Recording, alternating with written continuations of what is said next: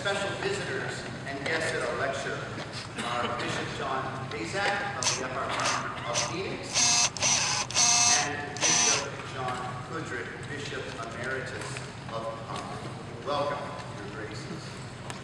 Our Byzantine Catholic Seminary family and friends who gather this evening for the 17th annual lecture, united in a fervent commitment to make manifest the kingdom of God on earth, we are humbled to witness church of tomorrow passing through our seminary today, looking with hope to the service of the church's future leaders, ministers, and scholars.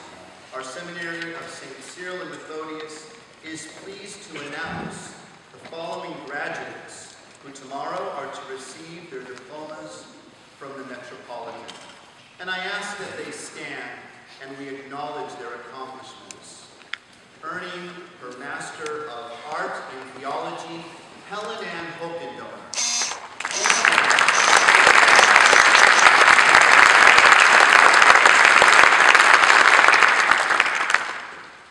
Earning his Master of Divinity, the Subdeacon Thomas Moses.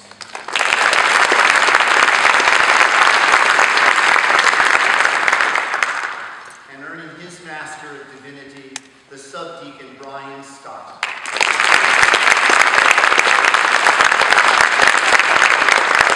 Congratulations, graduates.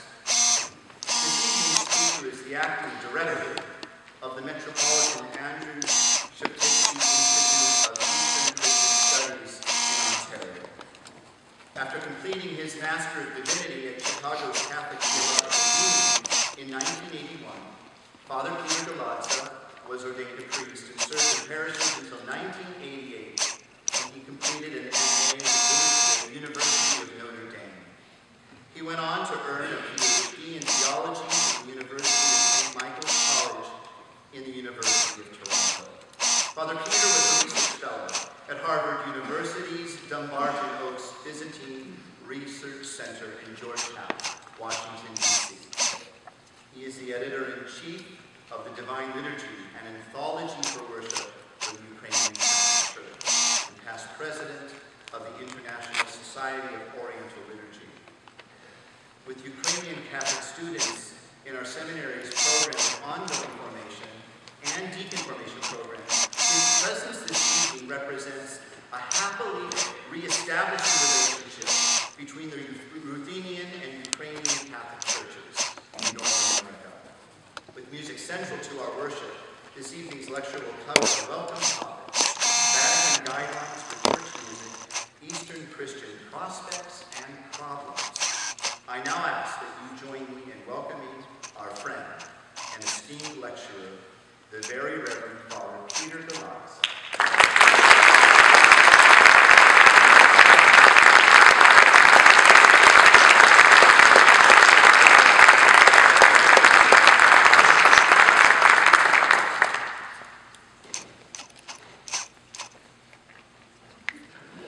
Your Excellencies, Reverend Fathers and Mothers, esteemed colleagues, dear brothers and sisters, Christ is risen. Indeed, he is risen. voskres. Voice The Messiah come.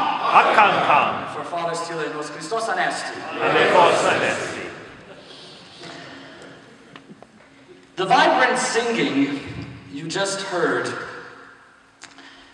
is not intended to evoke nostalgia or lead us down memory lane.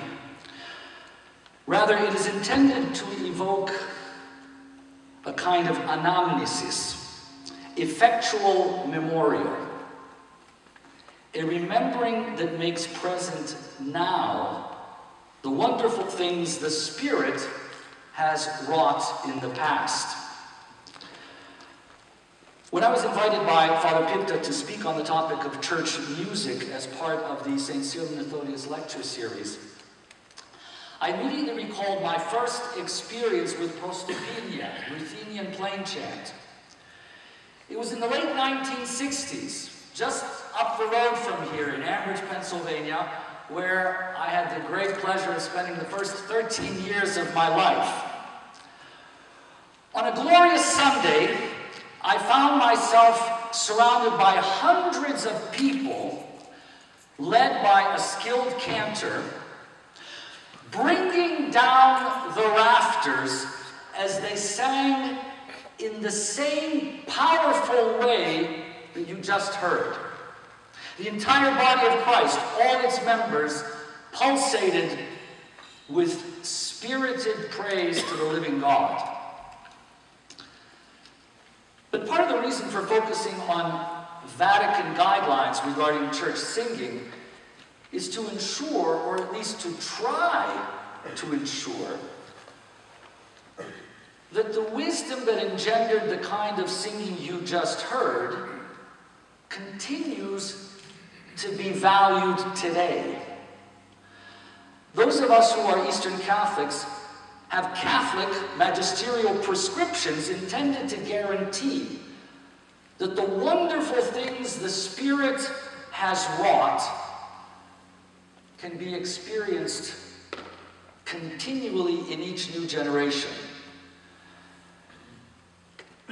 In an age when so many feel mandated to do as they feel, the existence of such guidelines should be a great resource. The first part of my lecture will review some of these guidelines. Most of them will be drawn from the Vatican II Constitution on Sacred Liturgy. I will not, however, be citing the document uncritically. Had Eastern Christians provided more input into the composition of the text, it would have been a much stronger document, a much richer document. But the Vatican II Constitution remains an excellent starting point all the same, and I will build on its strengths.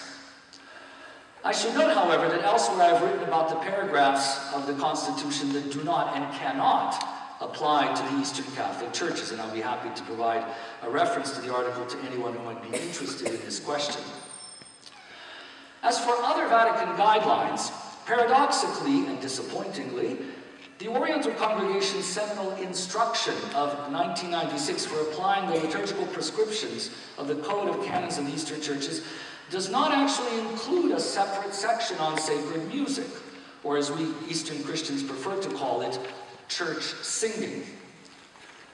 Nonetheless, later I will return to a quotation from that instruction that in its own way does very powerfully relate to the question of singing.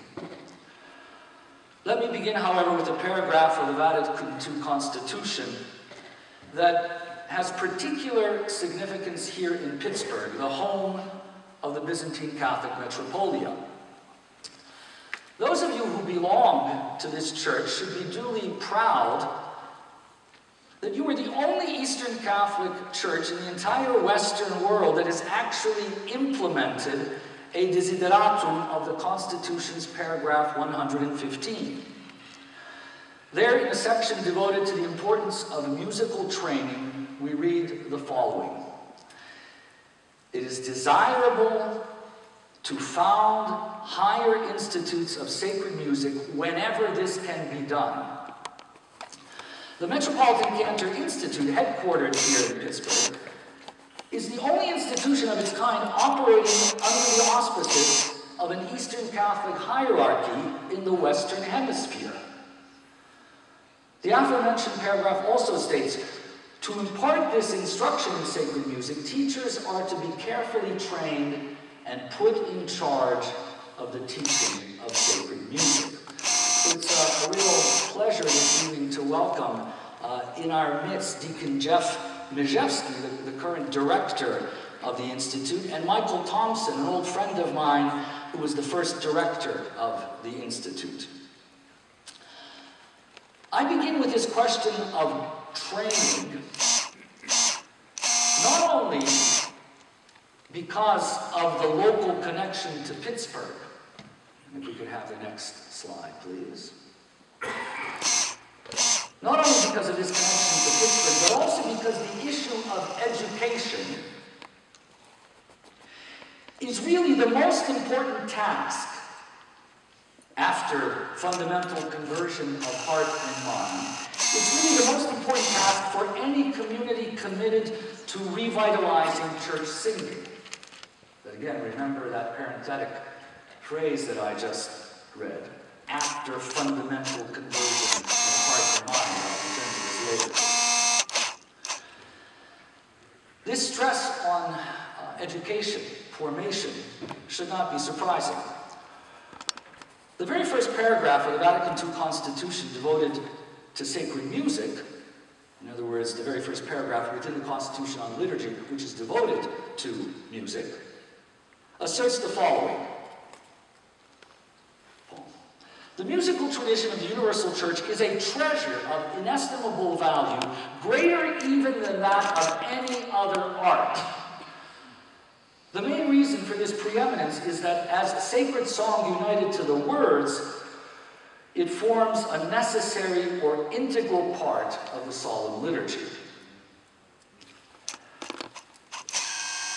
How can the greatest art associated with liturgy not require proper formation? Today, we would never ask an untrained painter to complete the iconographic program of one of our churches. And yet, the ministry of liturgical singing is all too often foisted upon parishioners who have never been given the opportunity to study voice, sight reading, group psychology, which you definitely need if you're going to try to organize a group of singers. And more for that matter, have they always been given the opportunity to study the basic ordo of our liturgical services. This is not to disparage those brave women and men who take on this ministry without having been provided the training. It is rather to encourage all Eastern Catholic leaders in all of the Eastern Catholic churches to create more such institutes of sacred music whenever this can be done. But tonight I want to focus on positive examples. Examples just like the one I've given of your Cantor Institute. And consequently, I will be illustrating several of my arguments with video clips from two parishes that I know quite well, parishes that have managed to implement the better proposals of the Vatican II Constitution on sacred liturgy. And incidentally, those of you familiar with the now classic book, Why Catholics Can't Sing, by Thomas Day. If you haven't read the book, it's now in its second edition, expanded, it's greatly improved. And once you start reading it, you won't be able to put it down. Okay? It is so insightful for so many of our parishes. So if you are familiar with that classic work, you'll notice that a fair number of the principles enunciated by Thomas Day are followed in these two parishes. And so a possible sequel to my lecture tonight may be entitled, Why at least some Eastern Catholics can sing, okay? Now, as regards the examples that I'm going to be highlighting, I really apologize for focusing on only two communities, but time constraints have prevented me from casting my net further. I really regret, believe me, you know, uh, up until 10 years ago, I didn't know the first thing about a PowerPoint. And with each passing year, I realized that I still don't know the first thing about a PowerPoint. And so there are all sorts of things that I wanted to find on the internet, wanted to include. Uh, I certainly wanted to include uh, great examples from various Ruthenian or Melkite parishes, which I personally know of. Unfortunately, you know of some of these parishes, but as I say, time constraints have, uh, and my own tech technical disabilities have prevented me from expanding, you know, the, um, the, uh, the number of examples I can give you from concrete communities. Note also that focusing on these two communities is not intended to be self-congratulatory. I say this because even though I'm related to some of the people you will see in these clips, I cannot take any credit for their accomplishments. So I begin with several examples from St. Elias Church in Brampton, Ontario, outside Toronto, for the simple reason that this dimension of training that I've just referred to goes a long way towards explaining the parish's musical vitality. The pastor, who happens to be my brother, Father Roman Galadza, worked for many years in the Catholic school system as a music teacher. And incidentally, every time my brother Roman begins to complain about the poor state of liturgical singing in many of our parishes, I point out to him that not every community has had the good fortune of having a priest who is also a trained music pedagogue. I always remind him that in his parish, the pastor and music director have shared an enviable oneness of mind and commitment. that, of course, as you guessed, is because for 20 years the pastor and music director were one and the same person. But that kind of cooperation does not require the pastor to be a musician. It only requires that the cantor slash music minister receive proper training and that the pastor be formed to understand and respect that music ministry. Elsewhere, I've written that, ironically, for all of our talk about Vatican II's empowerment of the laity, we have actually regressed because the status of the cantor choir director has been devalued. In any case, 40 years after its founding, St. Elias Church in Brampton no longer has to rely on its pastor to train the singers because he has trained a new generation of cantors who are now instructing those younger than them. The following clip shows a congregation of Ukrainian Greco-Catholics actually singing in French. Remember, this, this is Canada, okay? And the reason I start with this possibly idiosyncratic example is because it illustrates the surprising and almost extravagant results that can be accomplished with proper pedagogy. Here in the US, the example of singing in Spanish comes to mind. So what you're going to hear is my brother's parishioners singing Christ is Risen in French according to a Romanian melody.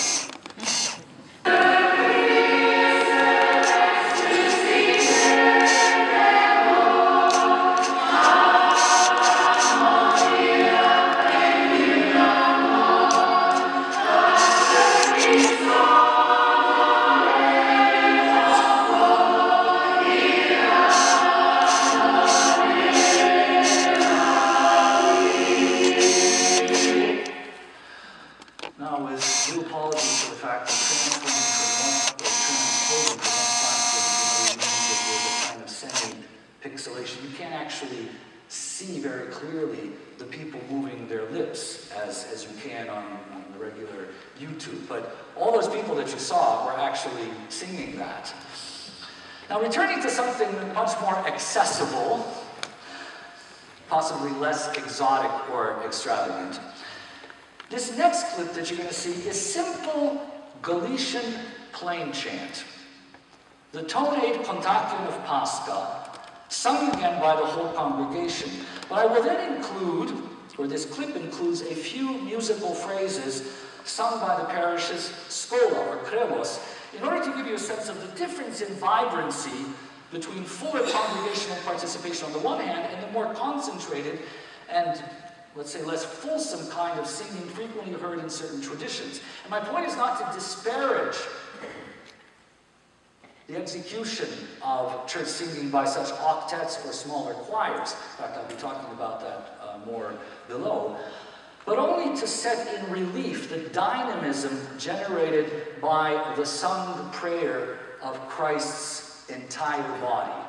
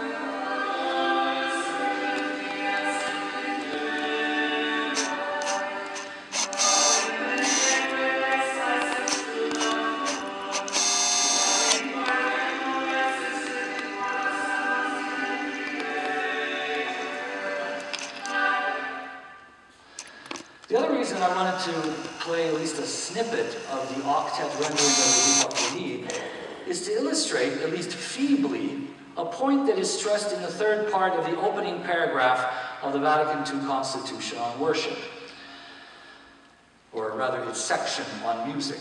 And there we read, we could have number eight.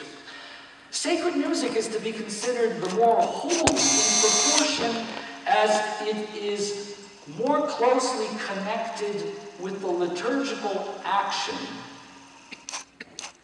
whether it adds delight to prayer, fosters unity of minds, or confers greater solemnity upon the sacred rites.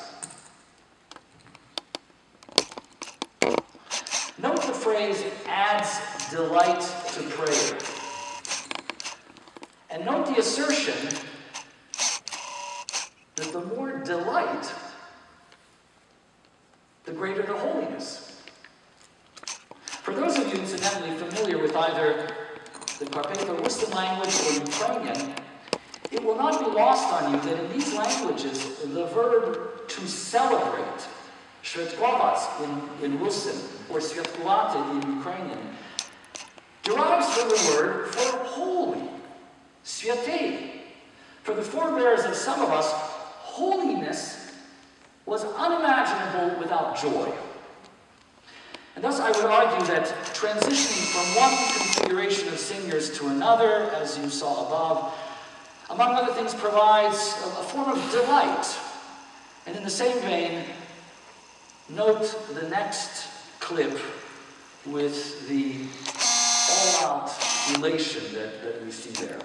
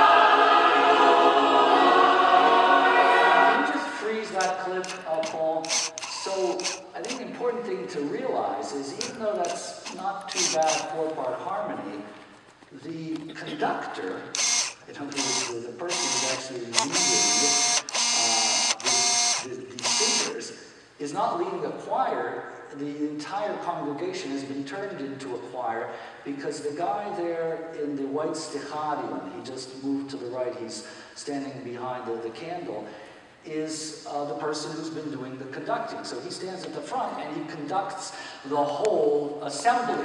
And I would say that in the case of that last Christos maybe, oh, at least 50% of the congregation was, you know, singing their guts out, as it were. But that's because he's standing at the front.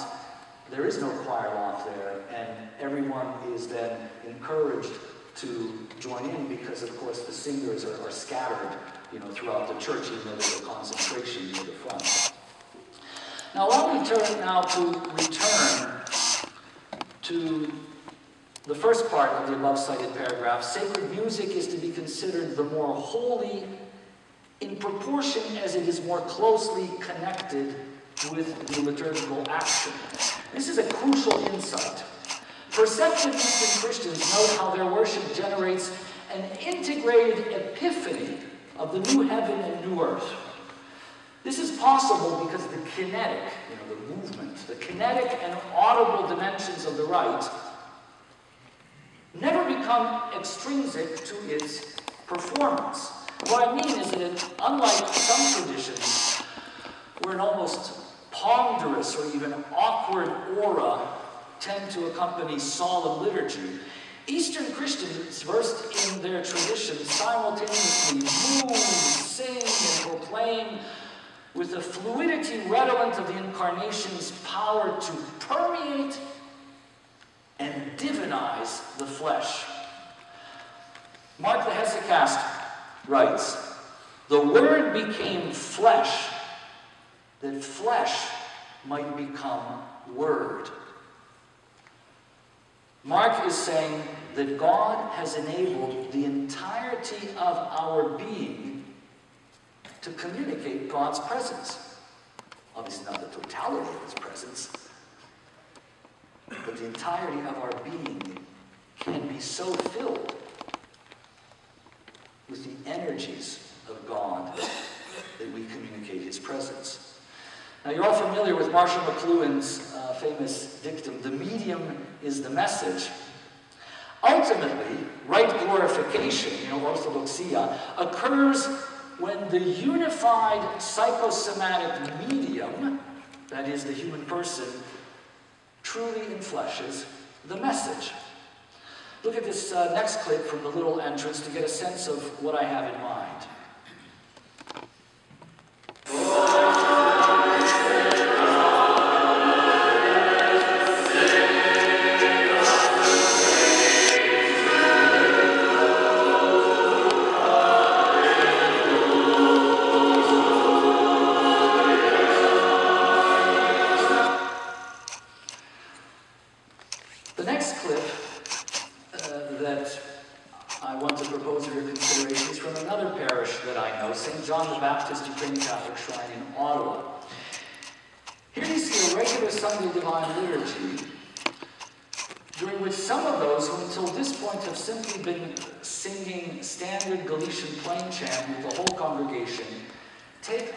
A choral rendition of the cherubic hymn.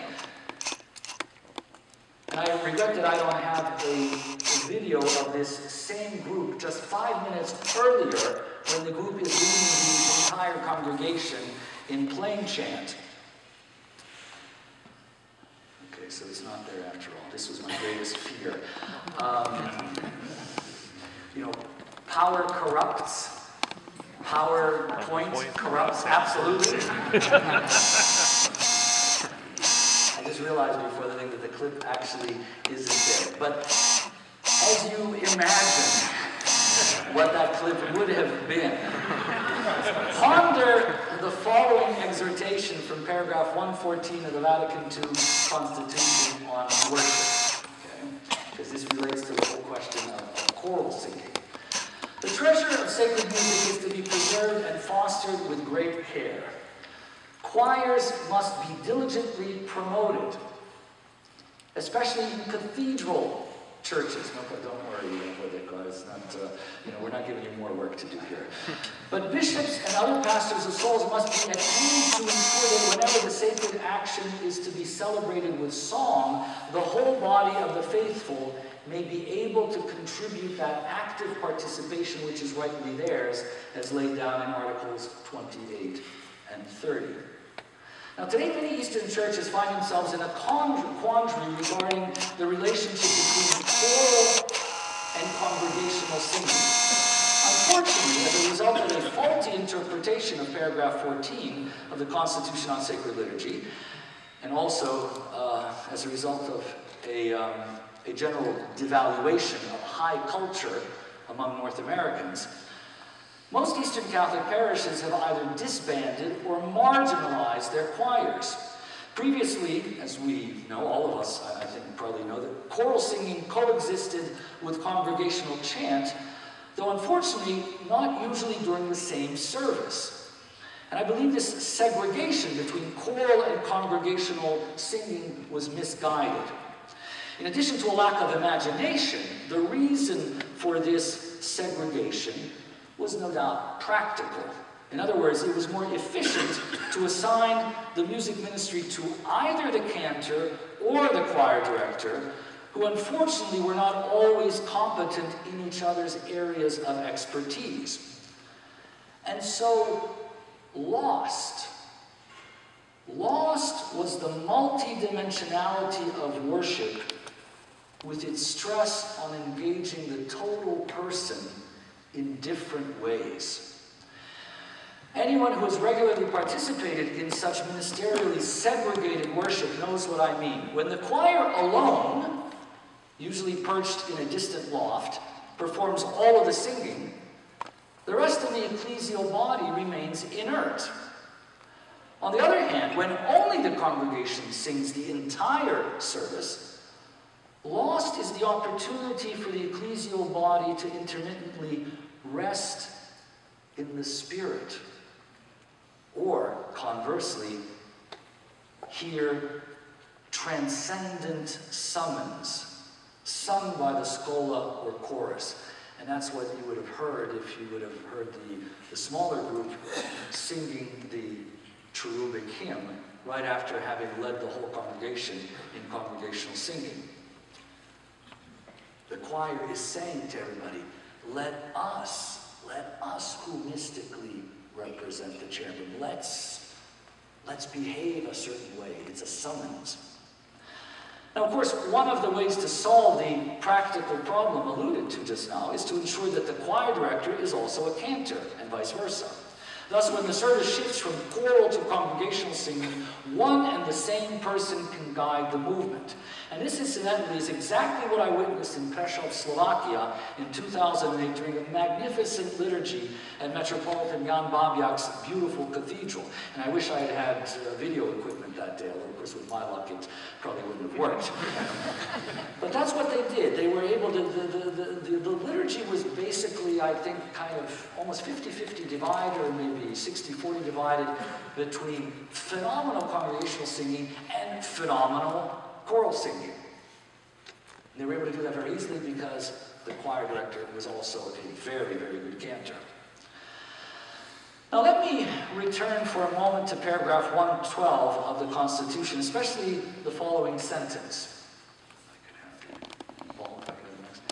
The main reason for the preeminence of the Church's musical tradition is that as a sacred song united to the words, it forms a necessary or integral part of the solemn liturgy. The Constitution, if it had been more Eastern in orientation, could have added that hymnography, especially Eastern church hymnography, is sung theology.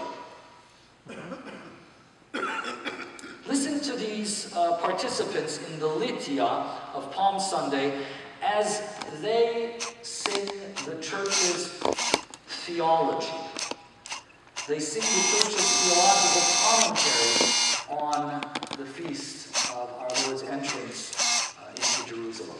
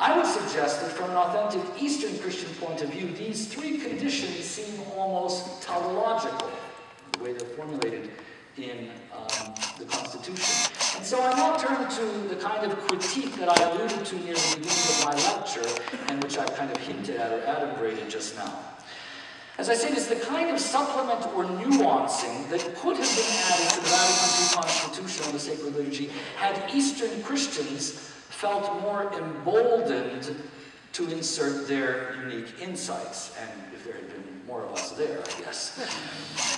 Had they felt empowered in this way, the following insights are the kinds of ideas that would have at least made their way into parenthetic allusions to Eastern Christian practice or the Eastern Christian tradition. And so my, my view, the main weakness of the above cited formulations are their reference to solemn liturgy. As is evident from other parts of the Constitution, all too often a bifurcation is admitted between solemn worship on the one hand and everyday worship on the other.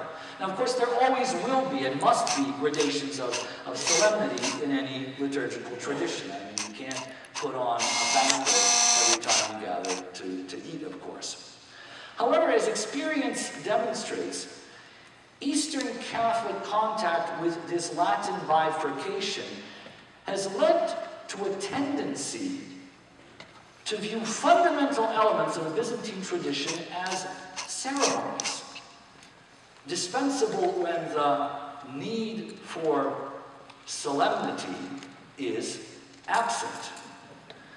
And so to consider singing part of the ceremonial, or as the Constitution calls it, the solemn liturgy, is to devalue a key dimension of the Byzantine liturgical ethos. Not only does the eschatological and banquet-like ethos of the Byzantine Rite require singing at all services, it is, I would submit, a moral ascetical requirement. And this is because only a handful of other physical acts express personal commitment as forcefully as does the act of singing. The muscular, respiratory, and mental intentionality of singing actualizes the exhortation found in Romans 12:1, where we read the following I entreat you, brothers and sisters, by the mercies of God, to present your bodies as a living sacrifice, holy and acceptable to God, which is your rational worship, logikilatria. We are implored by God's word to offer our very bodies as rational worship. And while this offering, in order to be truly Christian, must go far beyond the confines of the church building, that is, into our homes, into our places of work, and into society at large, the offering is uniquely revealed within the church building where Christ becomes the initiator of our offering. He becomes the initiator of our offering in day-to-day living in a privileged way. And incidentally, note that the phrase rational worship, or spiritual worship, reasonable worship, the Greek is logikilatria, the Slavonic slovesna sluzba, is actually the Byzantine tradition's self-definition of what is going on in church during liturgy. Fortunately, I can't uh, delve into this, this key issue today. I mentioned earlier that the 1996 instruction of the Oriental Congregation for Applying the Liturgical Prescriptions of the Code of Canons of Eastern Churches does contain important insights regarding church singing, even though the instruction doesn't include a specific section on the topic. And so please follow along uh, as I read this uh, crucial text that might be considered a kind of gloss, a very fitting gloss, on the passage from Romans uh, that I just cited. The human person in his or her totality becomes illuminated by God, and the adoption, the Son attains full relation with Him. And by the way, I think that for those of you who are not familiar with what's going on here, the whole point of the Christian theology of adoption is that women also receive the same adoption, which previously was restricted only to men. So to say adopted as sons is not to exclude the women, but in fact to say, listen, at our time, in our first century environment, it was only the sons who got the adoption, but you now, you women are also receiving that adoption. So it's adoption as a son, the kind of adoption that sons would have gotten. Next, God asks us to love Him with all our heart, all our soul, and all our strength. No part of the person is excluded. Rather, every part is integral to the others. Soul, spirit, heart, mind, and body come together to form the spiritual building raised for the Lord. Next. The person, priest of creation, takes everything into his or her being, giving voice to all inanimate reality for the praise of the Creator. In a particular way, with the incarnation of the Son of God, humanity is assumed by the Word, and the divine sanctifies, sanctifies and consecrates.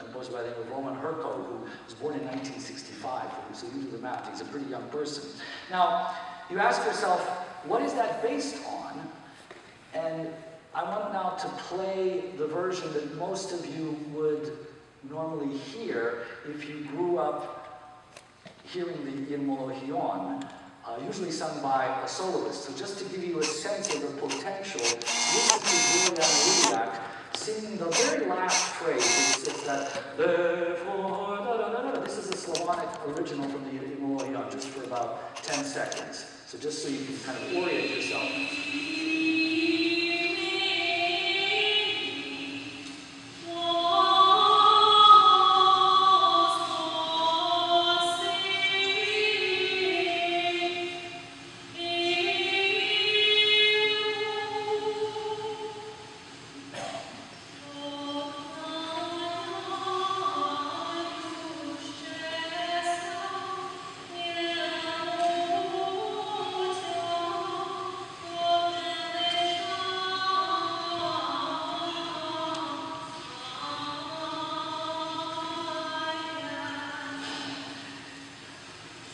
Roman Hurko.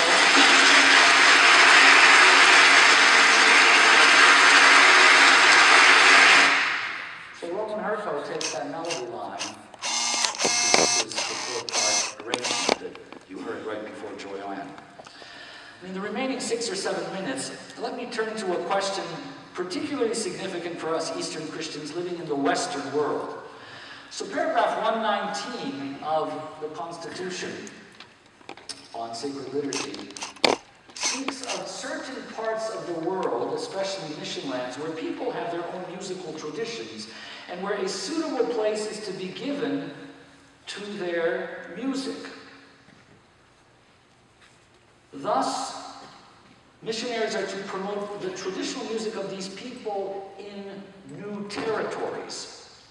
Now, until now, adapting traditional Eastern chants to the linguistic needs of Western countries has absorbed so much of the energy of liturgical musicians that they have hardly begun, they've hardly begun composing new chant, reflective of the cultures in which they find themselves, in other words, North American culture. Of course, an even more important factor has been the desire to transmit the universal genius of Byzantine Slav chant and polyphony in English, French, German, etc. So believe me, I'm a, very committed to making sure that those traditional melodies are transposed into English, French, German before we run off, you know, creating all sorts of new compositions, which nonetheless need to be produced. So even after 50 years of creating English English settings of Kievan, Galician, Transcarpathian chant, not to mention Bortnyansky, Kastalsky, and others, a vast array of such music remains to be set to English and other Western languages. But Vatican II's Constitution on Sacred Liturgy is nonetheless insistent and is certainly correct in promoting new compositions that would be reflective of for example, North American and other Western musical traditions. Now, paradoxically, in doing so, this Catholic document becomes thoroughly Eastern, as is well known among the most fundamental differences between the various families of the Byzantine Rite is their music. Thus, musical enculturation is constitutive of the very fiber of the Eastern churches. With time, then, composers of true talent and wisdom who have mastered the liturgy's spirit and are equally versed in the healthier traditions of their own countries will have to be encouraged to produce such new chants. And to give you at least a very, very small taste of such music, allow me to play just one new chant by um, a young man by the name of James Hoffman. He's a Ukrainian-Canadian student at the Sheptytsky Institute. And um, this was just, you know, I, I needed it, give a sense of uh, how pressed I've been for time. This was recorded last Saturday at Vespers in Ottawa. So this is the Saturday evening Prokimen on The Lord Reigns. He is clothed in majesty, uh, composed by uh, James Hoffman. You're going to see he's the guy with long hair.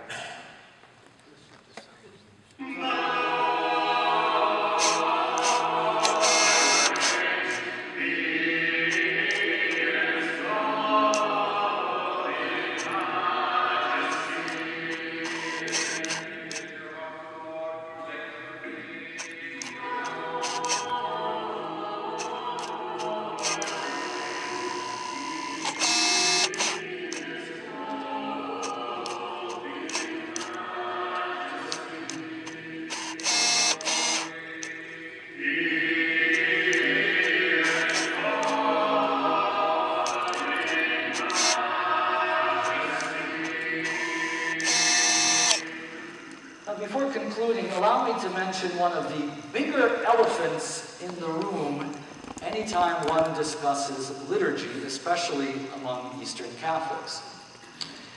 Inevitably, the question is, the question is raised, will this revitalize our parishes? Or more properly, in our secularized world, Will this make disciples of our Lord Jesus Christ of a new generation, of new generations, or of nominal parishioners? And the answer to that, which is another topic that I cannot treat here, is it all depends. I mentioned above that fundamental conversion of heart and mind is actually the greatest priority in any pastoral program. And nothing, I repeat, nothing should ever be allowed to displace this priority. In other words, nothing should be allowed to mitigate the stress on challenging individuals with the personal choice to consciously commit their lives to Christ and subsequently live out that commitment in service to the suffering and forgotten. The church, and especially you know, we Eastern churches, have sometimes been gravely sinful as a result of a liturgical or aesthetic reductionism, which takes Dostoevsky's beauty will save the world and turns it into uh, a mantra, a mantra that ends up replacing John 3, 3, 7, which is about being born from above, or Matthew 25, 31, 46, about the judgment meted out on those who forget the least of Christ's brethren. But among the things to consider as we restore liturgy to its proper place and proper context is the following fact. Church growth specialists, such as the renowned evangelical Rick Warren of the Purpose Driven Church fame, if you haven't read him, go out and buy his publications. I mean, 50% of what he writes won't apply to, to Eastern Catholics or Eastern Christians, but the other 50%, spot on. Anyway, he has pointed out that while 50% of the human success in attracting people to churches derives from the commitment and holiness of the parish's personnel, in other words, basically the quality, the, the, the commitment, uh, etc., of, of the clergy, the other 50%, guess what the other 50%? The other 50% can be traced to the quality of the community's music. Those committed to church growth and real evangelization would be foolish to ignore the findings of the Western world's premier author in this area. In any case, an evangelical like Rick Warren can hardly be accused of liturgical reductionism. Today, as we celebrate the memory of our great enlightener, St. Cyril Methodius, May we heed the words of St. John Paul II, cited at the outset of my talk about the beauty of memory. And please join me in viewing this final clip that shows some of the young beneficiaries of that memory. Indeed, wondrous are the works of the Lord.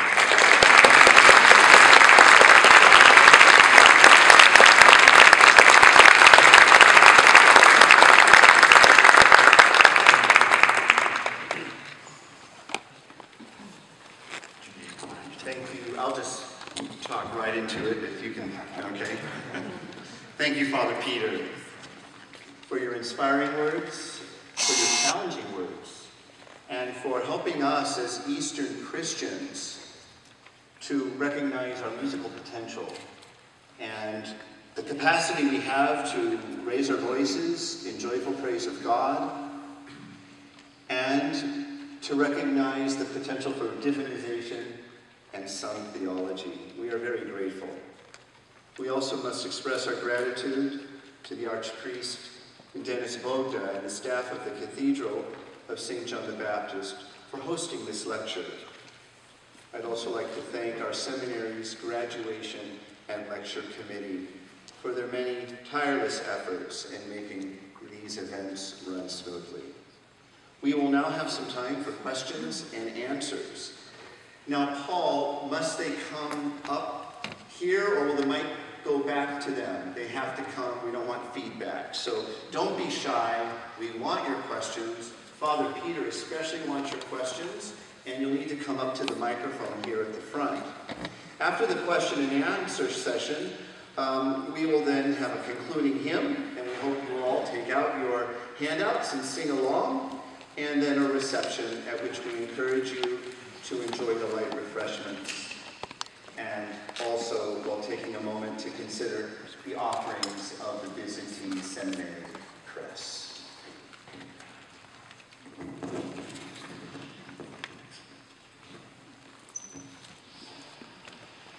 Okay, who's first? Yes, please. Yeah, I think the only reason is because they're recording this and, uh, oh, you can talk into my mic? Sure, why not? It's good for the rector, it's good for the, uh, Okay, you mentioned eventually uh, using the music of the Western Hemisphere. Well, listening to that, you've got rap, classic rock, hard rock, heavy metal, the Appalachian gospel stuff. I mean, some of those I don't think are always real suitable for liturgical services. Well, yeah, and you're absolutely right. That's why I actually said, if, if, if uh, you noticed, I said the composer has to be someone who is versed in the better traditions of Western uh, culture. Yes, thank you very much. It's an, an all-purpose metropolitan.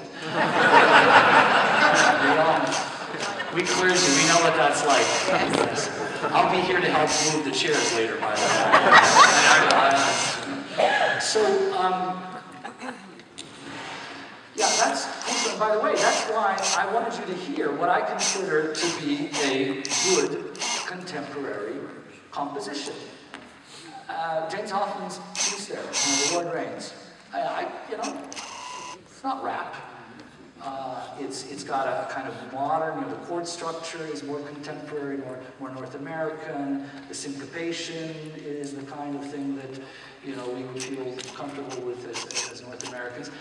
The fact is that um, even though, believe me, we could spend another 500 years and should certainly spend a lot of time transposing all of that fantastic stuff that, you know, is Byzantine Greek music, you know, Kievan chant, uh, you know, Bortnyansky, etc. Even though we should spend all the time we want reproducing that stuff in English, the last thing you ever want to do is, is stifle the spirit. And remember that every time, all, all, all of the examples that I gave you just now, Kievan chant, uh, Bortnyansky, you'll love this one, in the uh, 7th century, the Byzantine monks in southern Italy were introduced to the canon, you know, the canon, which had never been sung until that time. It's a new composition. And the monks write, what's next? What are we going to do? Jumping up and down like some kind of pagans? So the canon, you know, the canon, the hymnographic canon, which is about as traditional as you get, right?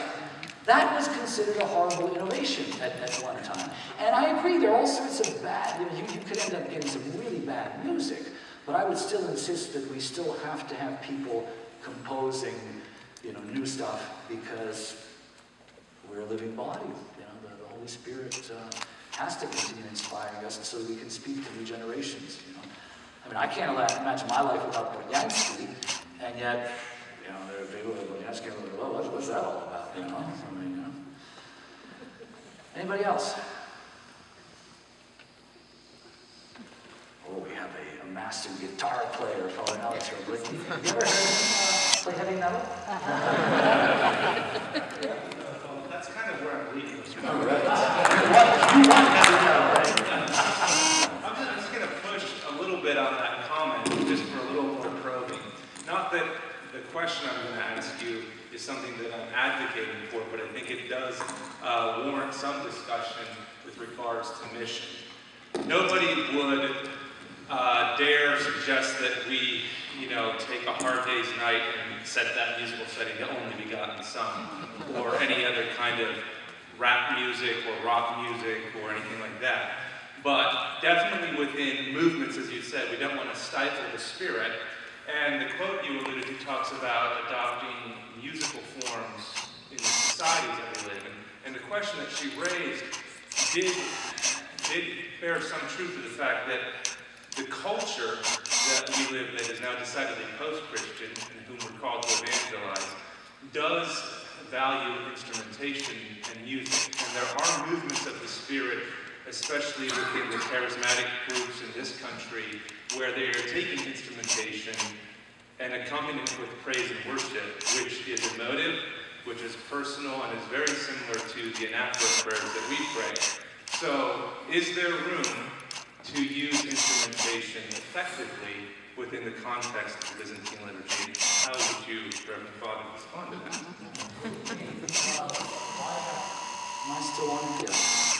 You don't know how many times I've thought about that question uh, the hours that I've reflected on that in view of the fact that I grew up, you know, I was born in North America. I go to a Roman Catholic or Protestant service at least once a week somewhere, and I hear some phenomenal instrumental music. I have come to the conclusion that, and maybe this is just because I am able to get my kind of instrumental fix in these other places, I mean, that may be, I mean, if you want to be, you know, apply hermeneutic of suspicion to my answer, you might say, well, that's, that's what that's all about. But I really have come to the con conclusion that in the same way that languages, different languages, have their distinctive ethos, their distinctive feel, and you can tell when something just doesn't fit that other language. You can tell when something sounds weird, either in French or in German, or in Arabic, or Ukrainian, or in English. And again, I'm sure a, a psychologist would say, well, Galadza is just because you are just so used to a particular kind of idiom, you can't imagine using instruments in your worship. I would nonetheless suggest to you that it really, at the end of the day, in addition to the various theological reasons that, that I gave, at the end of the day, I think it also involves this, this question of a particular kind of, of ethos. And believe me, if there's anyone who at times just wants to scream because the, the, the, music ministry is being done by some cantor who's just horrific, and having just an organ play away would be at least, you know, it, it would be as frustrating. The fact is that that can be a cop-out. Why not invest so that this person actually knows how to sing, and more importantly, why not make sure that we never allow a situation where we have a fallback? Because we certainly know what's happened in many, many Western churches. Although the Protestants have been spared this. You know, you've got amazing uh, Lutheran congregations or others where they have the organ and people actually sing along with it. But there are all sorts, I, I go to Roman Catholic parishes all the time where the instruments become a replacement, you know. Um, so, you know, it's, it's just a, a matter, I think, of having one less thing that could end up being a substitute for full body total participation. But um, is this some kind of infallible victim? The only thing that I think is really fascinating, you know that the Ethiopians, when I was in Ethiopia about uh, 10 years ago, I was very fascinated because we all know that there is cymbals and drums and but you know that they never use their little instruments for the Eucharist. They use that for the liturgy of the hours. You show up before the Eucharistic liturgy, and they're, know, they're playing away, they're doing the same. But the moment the Eucharistic liturgy is all instruments are gone. And there's just some, something fascinating uh, about that, you know. Anyway, uh, the answer is. Um, that's, that's my attempt. Anything else? Yes.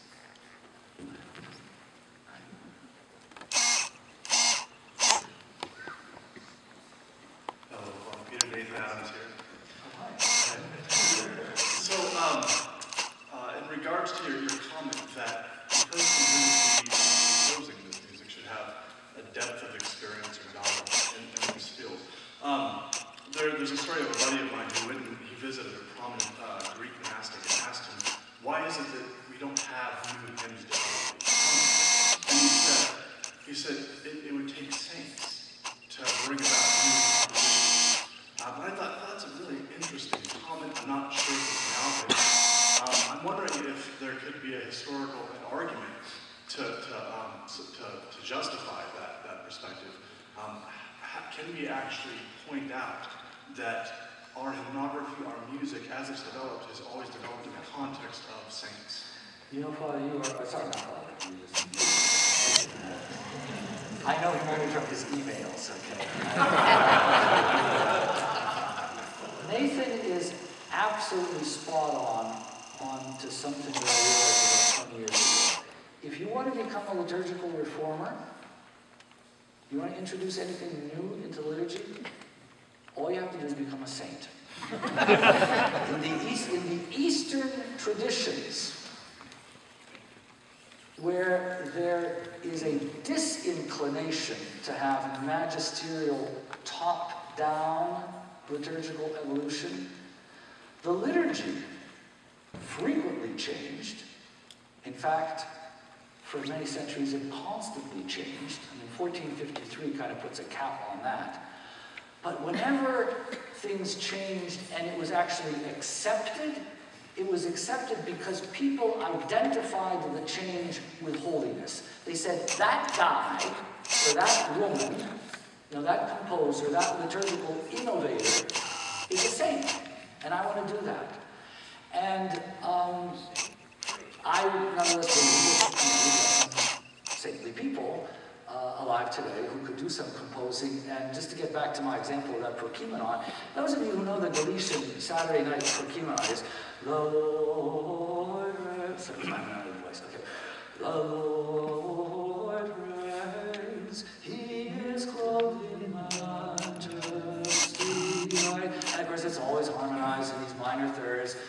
know that minor doesn't necessarily mean sad.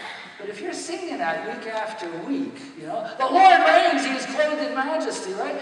You know, there's nothing wrong with asking somebody like James Hoffman, hey James, do you think you could come up with a melody that without being wild is nonetheless more expressive of the Lord reigns, he is clothed in majesty? Well, that's what he did. And I think the, the experiment works really well. And believe me, there are other people out there who are producing similar things. So uh, it's always with the, and by the way, the reason people like to sing his stuff is because he's a genuinely holy guy.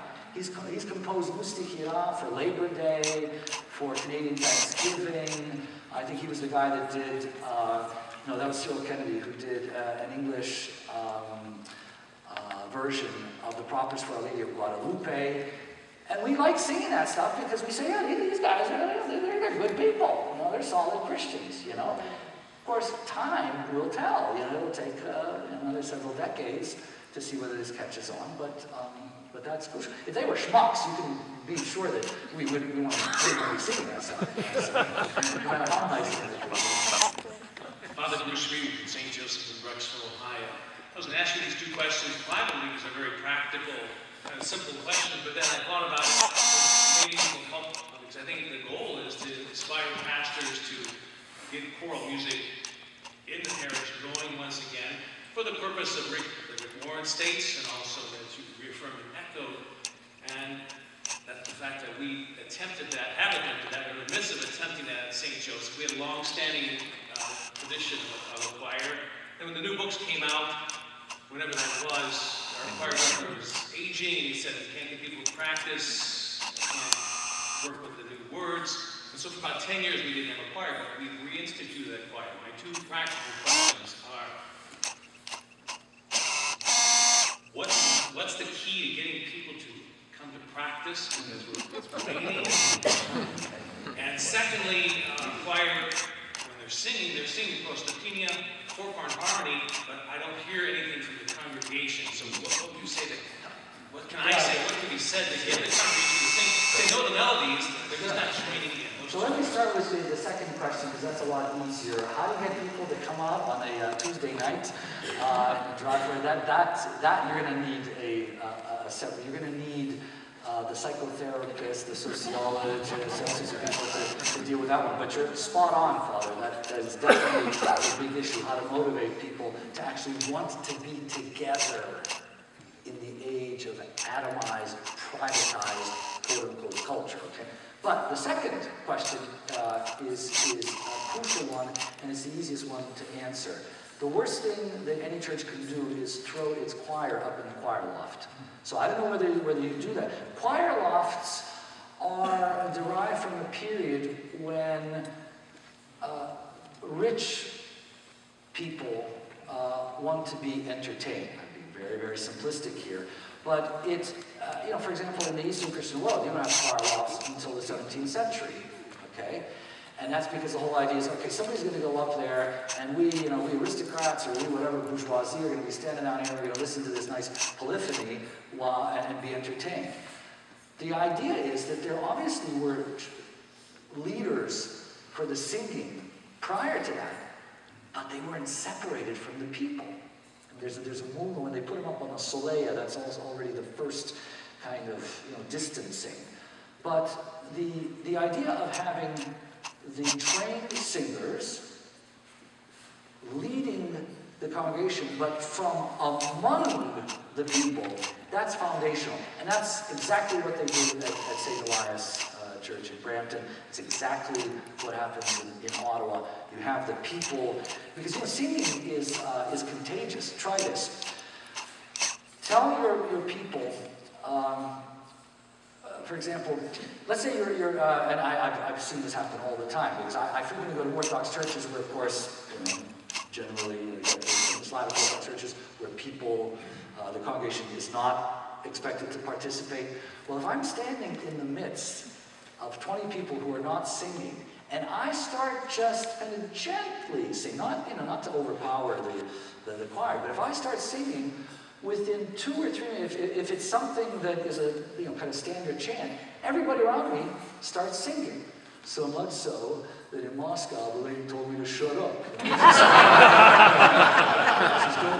Uh, said, don't interfere with, with the singers. The only reason that was so ironic is because she had just spent 20 minutes gabbing with the person in front you interfering with, with the choir. But um, it, it, it is really, it's, you know, singing is contagious in the good sense, and so you want to plant your singers. Uh, they, they, they want to be to, kind of together, but not separate, if you get my drift.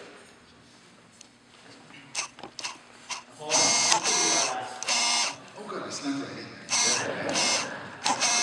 I know we're talking about progressive music, you know, melodically, harmonically, of things. So I guess I have to ask a historical, regressive question, I guess. Um, you know, with the prostopenia that we're, we're reading now, it's been presented in a modern context, in Western notation, which makes sense practically.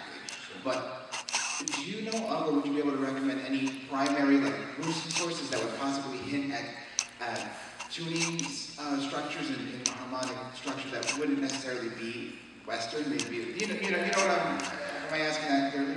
Yeah, yeah, no, I understand exactly what you're getting at, and uh, as the, the musicians that I know here know, I am not a music theoretician, so uh, you may need to get a supplement to my answer later on. But the first thing you need to understand is that even though the elements of prostopenia that derive very directly from the etymologia, even though that has roots, sometimes distant roots, but nonetheless roots in Byzantine Greek chant. They can, you know, there are people who study this and, and trace that, that uh, the development.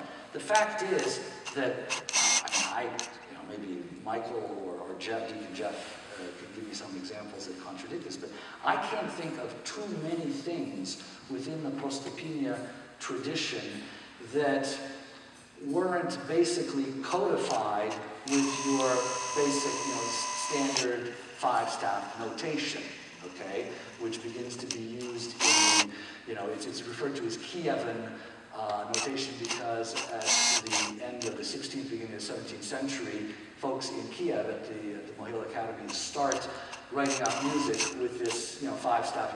And so what you're talking about, you know, using, you know, uh, neumes or, uh, I mean, you, you have neumes that might pneumatic and here, you know what, I just realized I'm, my, I'm digging my hole pretty deep here because you, are obviously talking about the old believer kind of stuff with the, the, the right? Uh, uh, more so, and I guess more so my, my question would lie more in, and I guess there wouldn't be written sources for this, but any type of performance practice, yeah, yeah. kind of thing, the, the, tuning would be happening in the performance, not necessarily on, the, on the staff. Yeah, so I don't know if anybody, maybe, I'm hardly the expert on prostopenia here, I can, there are all sorts of examples of znamenny chant, you know, which is related to some of the, some of the stuff in prostopenia that have been recorded according to reconstructions. And there's all this controversy. The guy in Moscow is named Grindenko, and whenever you mention his name, half the people in the audience just start throwing up because they say,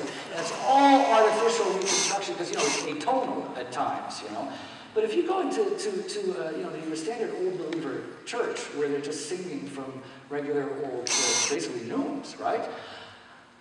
The, the distance between that, and they've held on to that oral tradition, so they're singing things the way they were sung back in the, you know, the, the 17th century.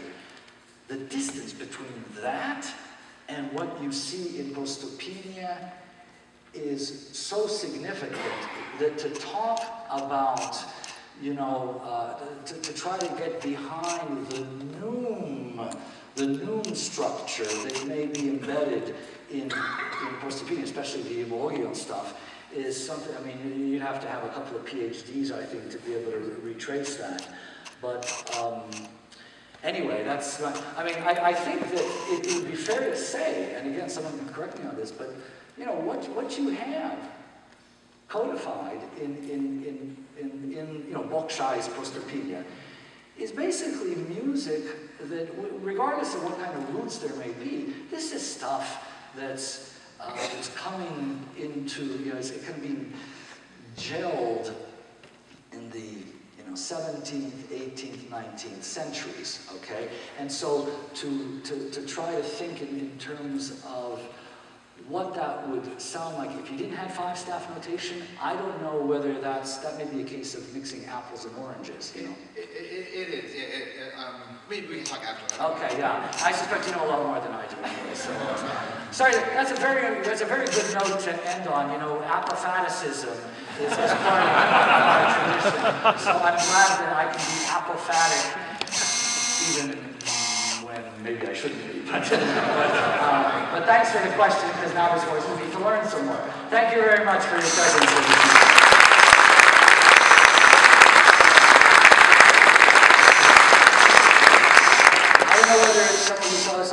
just this morning or in the middle of the night, uh, Father uh, Ludwig Pichler passed away. Those of you who don't know Father Pichler, he lived to be 103, I think. For many years, He was the conductor at the Russicum, and he also uh, did some conducting at St. Joseph's, Ukrainian Catholic Seminary. And so there are a lot of Ruthenian seminaries, especially those who lived at the Russicum, who were quite familiar um, with, with his work. He, he, he set a lot of Carpathian chant uh, to, to four-part harmony. And I would ask, um, uh, Father Valerian is, is a former student of his. He, he was there at the Russicum for four years, and we were reminiscing about this. So may I ask uh, Father Valerian to intone, you know, the Vichnaya Pamyat to which we will sing Christos Voskras or Christ is risen, whatever. Is that, is that okay, Father? Because Father Pichler was, was a star. Thank you, thank you so much. And I apologize for that, but my, my son will kill me if I don't intone Vichnaya Pamyat for Father uh, Luigi Pichler. Bless